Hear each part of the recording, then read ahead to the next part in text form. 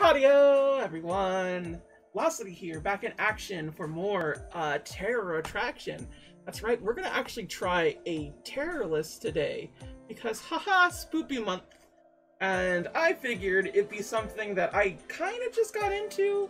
For those that are just checking this out on the Fate Go side of things, I have been playing, playing Fate Go for roughly a year or so.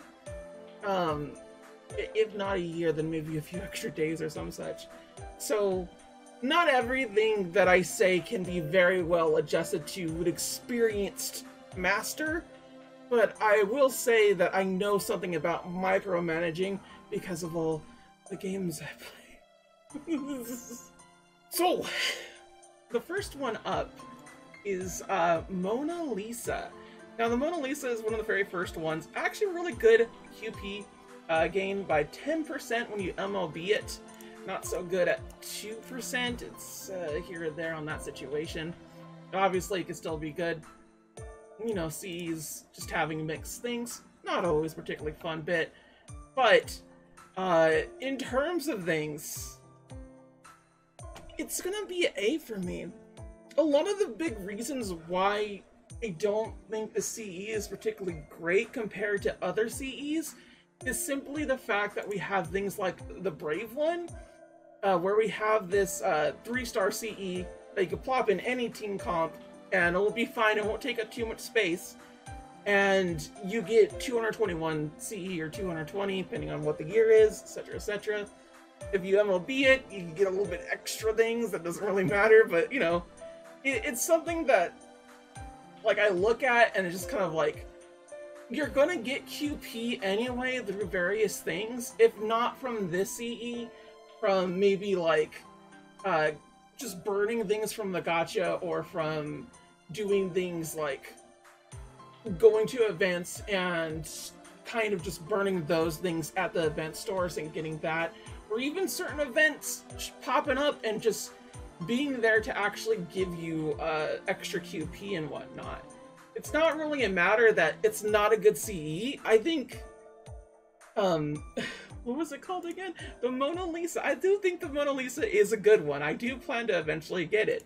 But I think another thing a lot of players don't seem to remember when they are younger masters is rare prisms and and getting a bunch of mana prisms to actually get them from the shop is a hard thing to do. And I wouldn't recommend anybody starting out to get this CE starting out nowadays in Fate Go, uh, I'm not so sure if everyone really knows this or not, but it's pretty good in terms of giving you enough resources to do things.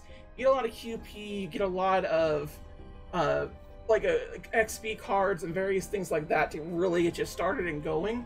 So you're not going to be hurting for QP yet. That's going to be something that probably hits maybe like two years in or so or some such, unless you're really bad at, at doing skill stuff. And that's why I really feel like you can't just be like, it gets you QP, it's good. It's, it's only good at a certain point in time. And even then, there is a better QP CE for this that you can get. And there's various other things that you get to to get it. But suffice to say, there's too many places that you get QP for it to be worthwhile immediately. It's not something that I think everyone rightly needs immediately, and that's what I feel like EX is supposed to be. A is definitely, like, if you get it, you're stronger for it, but EX is not. EX is something that you should be striving to get, as far as I'm concerned. With that going ahead, uh, we're going to go and look at personal training. Personal training increase mastery EXP gain by 10% uh, when it's MLB, 2% when it's not. Uh, mixed stats, so it's kind of like here or there. But the thing to me with um, Master uh, XP is you're always going to get it. And I do need to express that wholeheartedly. This is good when like levels are raised or you're trying to like get up higher. I noticed that once I hit around 130 on my level, suddenly I wasn't getting my levels as much, but I do eventually get them. And it's not like I'm really like hurting to like do more things every given time and whatnot. And once you're around uh, 130, more like 120 honestly on the levels. You're pretty fine in terms of like what you could put in together, so it's not even good for that in particular. And on top of that, they have adjusted things so you don't have to worry so much about sizing when you're leveling up. So it lost a lot of purpose in that regard, and a lot of other regards, but I do think it's still a good CE in the sense that, like, if you really wanted to get more levels, if you had nothing else to, like, really go do, or, like, the raise levels particularly higher and you want to grind for it, I do think it has a niche out there. And that's why I kind of think it's fairly average on the whole entire bit, because it is still one of the best CEs that we could use for Master EXP, but it's not something that I think everyone rightly should go out and get. It's it's one of those situations where it's like mm, I'm I'm doing this in a very niche part of things and I don't need to like worry about it so much. Aside from that, we also got another one, personal lesson. Uh increase Mystic Code EXP gain by 2% and then uh 10% when it's MLB'd. Mm, actually, all attack. That's pretty interesting. That's all attack. Little nice little thing there, at least. It, obviously, with all these CEs, you don't want to like max them out or anything, at least comparatively to anything else. But I, I do find that Mystic Coding is a far better option because you just uh, have a certain amount of time with any given Mystic Code you'll be using various other ones, or you'll find one that you really like, and you'll use that for your competitive comp or your uh, your your bosses and whatnot. So it's not always there, and it's not like getting to other levels higher than five isn't a big deal. Like I'm pretty sure you get every CE to level five pretty easily. So you don't need to worry about levels with Mystic Coding as much. Um, and in particular, the reason why I'm getting so into it is because of the value of what the card actually holds. And as much as I like Mystic Codes and like leveling them up, it, it's just more of a personal reason for me on why I like to do that. Uh, consider it something uh, akin to OCD, the lesser version of it, where just I kind of get like little on my brain when I don't have something that's like completely leveled. and I like I want to grind it out. That's just something that I want to do personally, but it's not something that hurts the overall thing. Most of the things that you get from level leveling your your mystic codes are literally just cooldowns. So very few mystic codes actually benefit from this to begin with. On top of that, you know, you're just not going to need it as much. Not not concentrated like this where you're just getting mystic codes. So again, It is a C. It's average. There is reasoning for it. There absolutely is, especially when it gives to certain things. But it's just on a very niche level that it doesn't matter as much. Trust me, these things will go down faster as I explain all the little resource management, but we do need to talk about it. Another thing in particular is Chaldea lunchtime. 2% for nine, and then 10% for full. It has full, uh, no, it has attack and and HP, so it's okay here and there on the whole turn mix thatch, But uh, let's say it right now, bonding, absolutely the most important, the most important thing you could do in this entire little thing right here. There, there's several reasons why that is, but it mostly just pertains to St. Quartz. But if you're just starting the game, it is a good idea to actually get your bonds up all the way because of Solomon.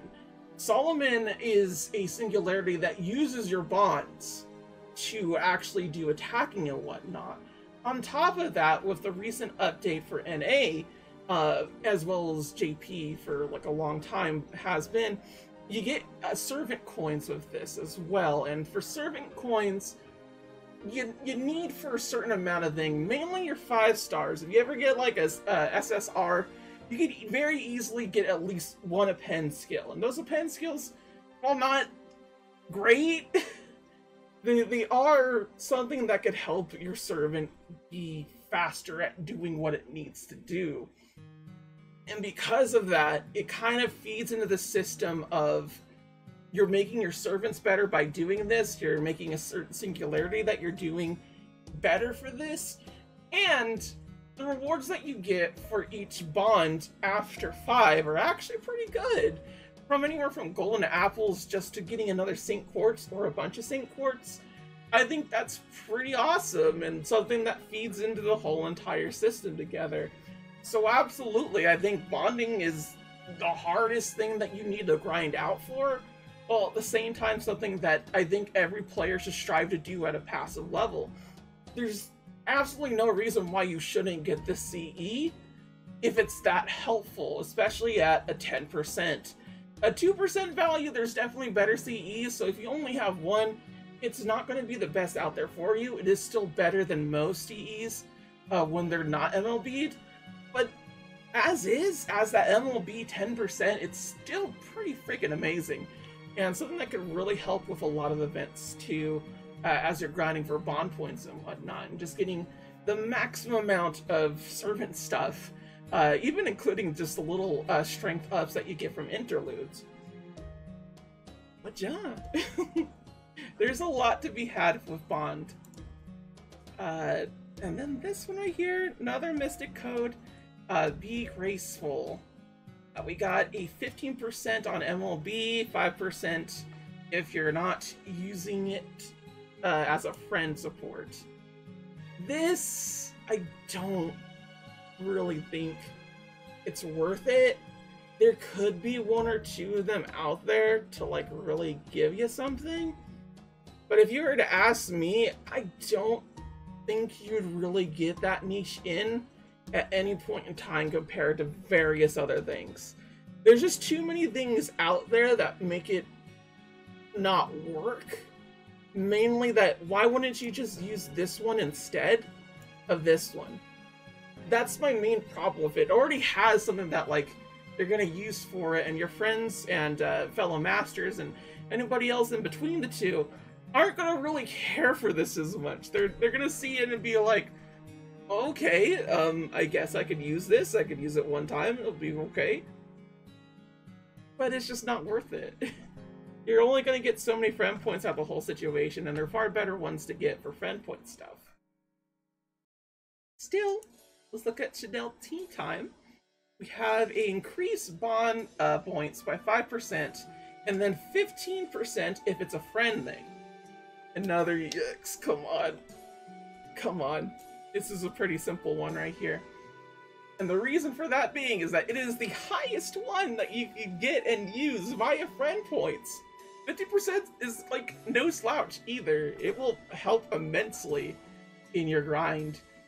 And while I don't think everyone would have this and, and outright, it is definitely something that like Bond is always on the back of every master's mind that they want to do.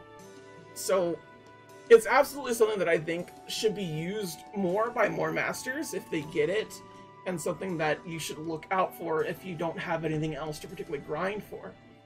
So it's just, it's very helpful, you know? As for this next one, uh, the Bella Lisa. Now this one right here, as much as I, I did talk about the whole entire QP thing, this is the one that is the best. It is absolutely positively the best QP uh, game to get.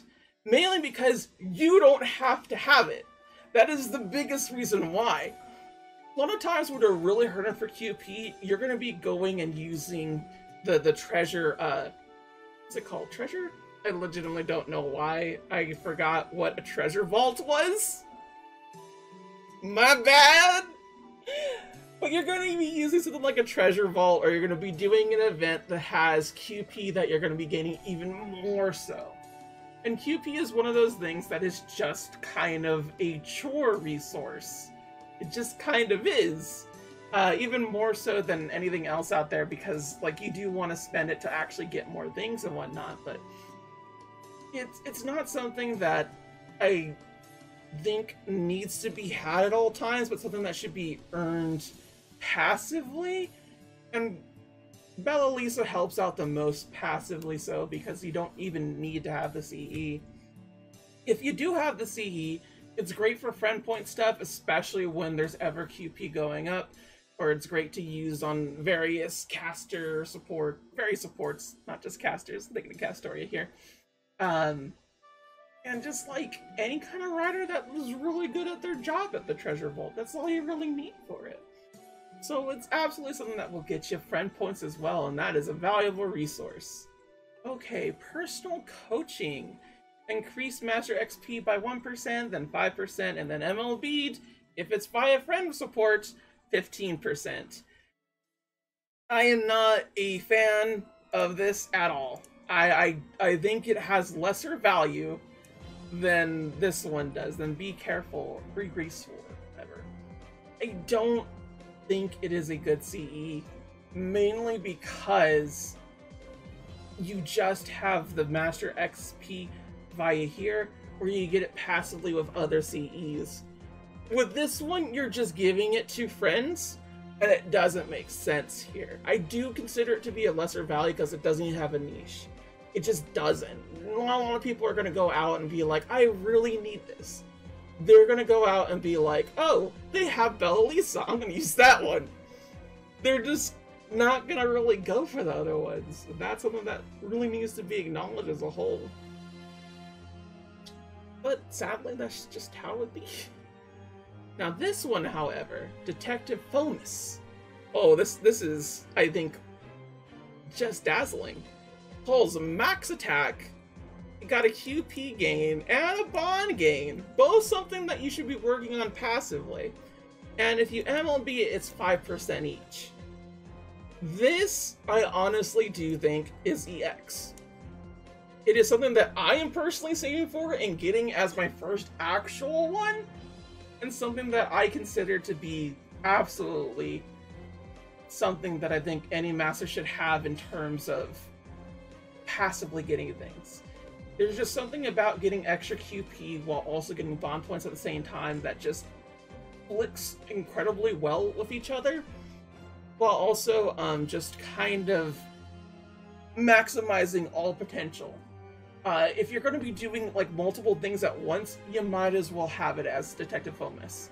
It makes the most sense to be gaining QP and to be gaining uh, bond points over almost anything else, really.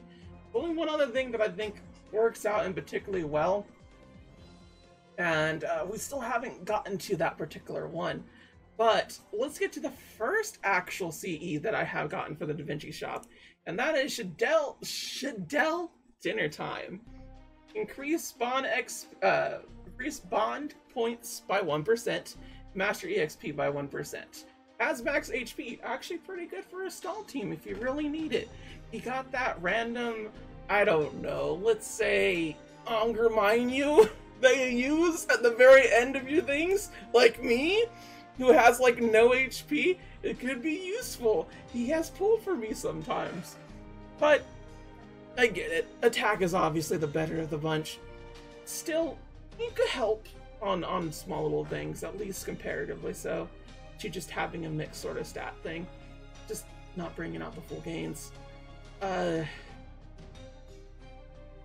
point being, Bond Point, one of the best things out there. It just is. If you have Bond Points as your CE, you get an extra bump uh, the way that I figure it. And like I said before, the Master XP gain is fine, but I don't think you should be using it as a main thing, as a driving force.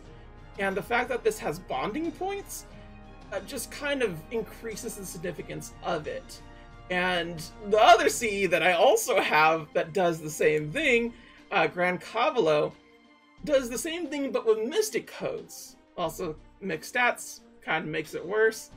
But Mystic Codes in particular are very important to get as a niche, and I would consider this to be better than this one right here. This is obviously the more niche of the bunch because you'll always be gaining Master XP, and there's just always a proper slot for this. But this one right here, um, just kind of a better passive gain as a whole.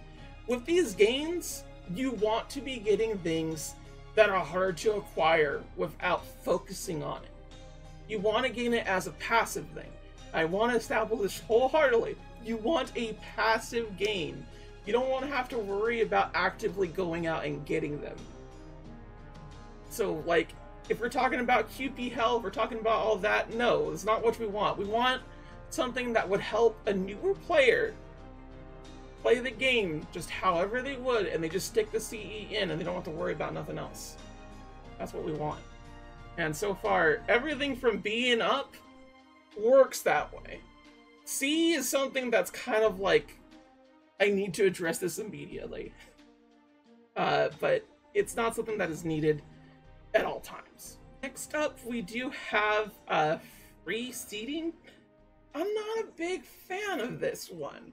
I honestly don't really know what I want from it because it does have that QP gain of 5%. And the QP gain of 5% is a good thing, as well as the Mystic Code too, uh, being 5%. These are nice gains, and it does have max attack. These are all good things that we have here.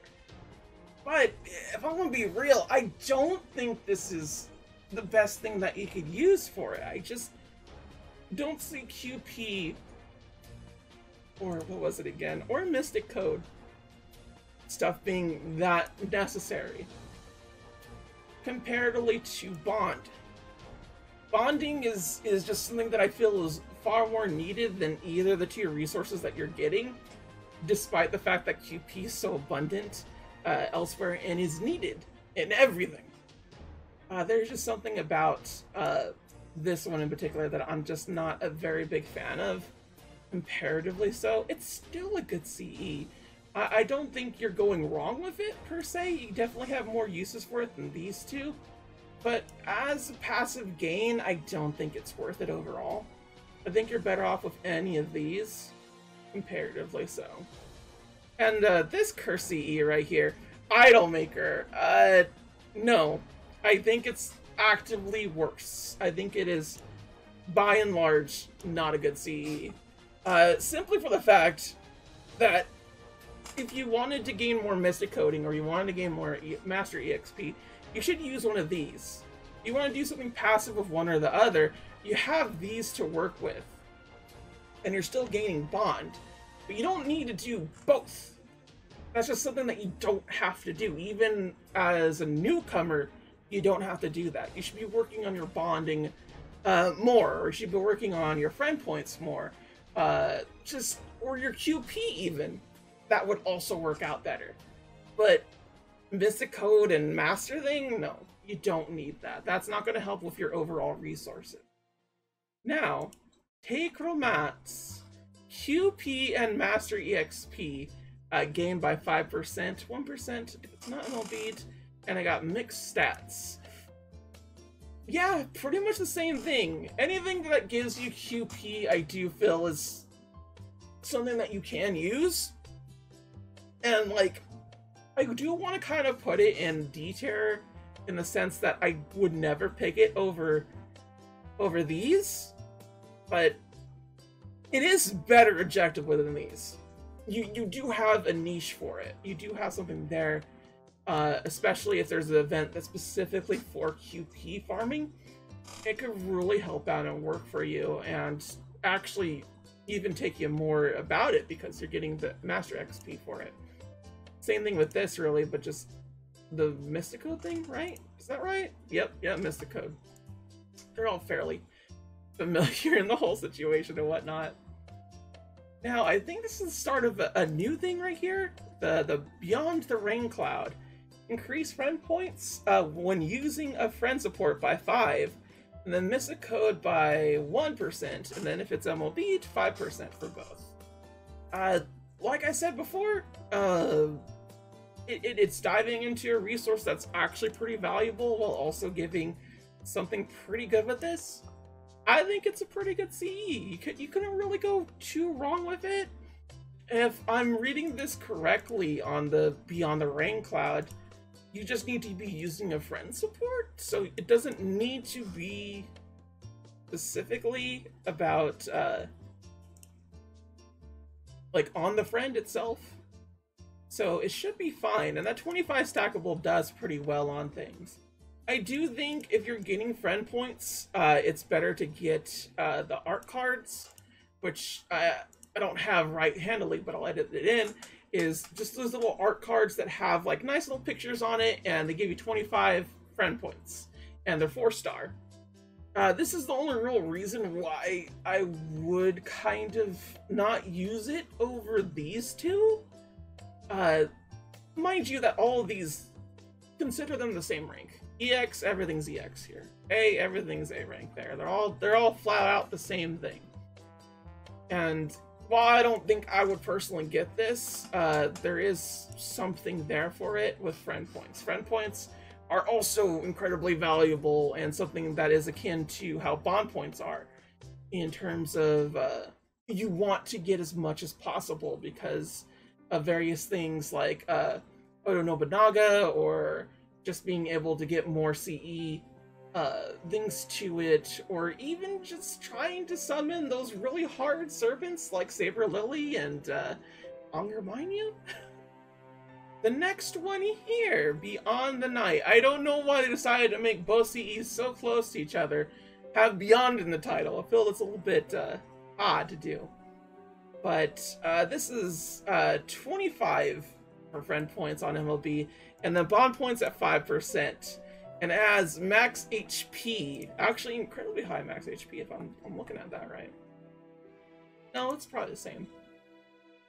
And do, did you want to know where it goes? That's right, in the EX tier. This is easily the best of both worlds right here, and something that I really hope to get as soon as I can. Because I love getting the best of both worlds here. Absolutely, positively, 100%. Getting FP and uh, and bond points at the same time, pretty fantastic. The 5% works out so incredibly well uh, for the overall gains and just it's gonna work out really great. There's just nothing more to say about this. This just gives you two valuable resources at a very good rate. And that's something that you want enlist into the ethereal veil. This is QP gain and friend support. As much as I do like this one too, because it is a friend support gain, uh, it does have mixed attacks, so it's kind of eh on the whole situation. And overall, I do think there are better QP things to gain, but they're better than these. I would absolutely get this. I would tell anybody to just rightly get this getting friend points is just always a good bet on top of the fact that you're getting QP, a uh, resource that you always need, is fantastic, really. So there's no reason not to kind of gain this. Absolutely fantastic CE as far as I'm concerned. Oh, I love the art for this one, Seeking the End of Eternity. Uh, increase friend points and master EXP. 25% stackable, EXP gain by 5%. All attack! pretty neat. I'm not so much a fan of this one. I am not, but I do think that's fairly decent. It's just the Master XP that I don't think works for it very well, and I think is the major problem with this. The mastery XP just isn't something that you need. You're always, I mean always, going to get Master EXP no matter how passively or unpassively you do it, you're just always going to gain it. This isn't the same way with Mystic Codes, which I believe Beyond does? Yeah, Mystic Codes. Um, it, this just has a more like present niche thing. And when you're trying to passively farm for things or you're trying to min-max your situation, you don't want to go for something that you're always going to be gaining on you want to go for something that you can't always gain on or has a more definite amount. That's what you want. With uh, experience, it's just it's never that way. You're always going to gain experience. There's not a reason to speed up that process. So, C tier. okay, the wolf story. Very interesting CE. Got a full max attack. Pretty neat. But this, I feel, is a CE gone wrong too fast. Uh, I has a neat idea of having this be three different things at once, And while these are all good things that you should need, that 25 friend support, the 2.5 uh, gain, that 2.5 gain for Bond and QP, it's not good. And having it non MB is just worse. You're just not doing good. And I'm gonna be real here. Those CEs that I showed, where it's just the illustration and just has that 25 gain that's stackable, you would just use those if you wanted this. If you wanted to gain more FP. If you wanted to do that. So this actually isn't good at all. That 2.5% just isn't enough to like really make somebody out there use it enough. That's that's specifically the problem is that you're you're not gaining enough to always have it. You will have to always have the CE in in order to gain any kind of benefit from it. And Fate Grand Order as a game isn't like that. It's going to want you to change CEs constantly and do various things. Uh, if only for the fact that there's boss battles and you need to be a little more serious. So, in that regard, I don't think it's good at all. Like, I just straight up being having to spend 5,000 mana prisms just to get it to MLB is confusing because all these other CEs, I do mean all these other CEs, will gain you more. And you just won't be able to have this at the very beginning or any other point since. And that's why we actually have to add a terror because it actually is just that bad. Every other CE here, even if this sucks, it's a bad CE, this fails at what it's supposed to be doing. It's bad. You want to get anything else here, this isn't worth your time. You have other CEs that do better jobs, give you that 5%, which is more than what any of just two of these battles would do. You would gain more by that 5% on either given side comparatively to that friend point game that you just got. You could just add that 4 star 25 gain on top of whatever these are. That's that's how much easier it would just be do. And it's sad because I get what they're trying to do here, but even if it was just 3%, it would have worked. Because 3% is a is a proper gain. It's it's properly there to actually do something. But at 2.5%, that's not something that I think I could be justified. It's just not something that really works out better because like why wouldn't you use just one of the New Year CE along with the friend point gain and like the bond support? Like why wouldn't you just do that? Why wouldn't you just use this? It, it doesn't make sense. Make it make sense! Now, sadly, we have Rising against the Azura Sky, which does the same thing, but with Master EXP and Bond points. And while Bond points are great and everything, it's just not enough to save the CE. It's not enough gain. And it fails at that particular moment, too. But not to like have everything on a downer here in terms of the CEs that we're going to eventually get. I do think that Before the Daybreak is a good CE. And we're talking about non-MLB, it's still a pretty good CE. That 10 stackable is still pretty good. Especially if you don't have those uh, little uh, CEs that are just like illustrations. But uh, that 50 stackable, pretty neat, pretty, pretty nice you're able to get more of these, especially if um it's just like you have a friend support that also has that. That's a hundred additional on top of what you calls until then you would probably have three more. Oh yeah, four more. So you could just effectively get 300 FP just by this alone. This works out pretty freaking well. I generally do think, even if it's just like it has to be on the friend support, I do think it works out really well. If it works out in the friend support area where it just it has to be on a friend support, then yeah, I do think it's B. But if you're able to use it otherwise, I do think it works out better this way. And the only reason why I say that is because it's the highest FP game out there.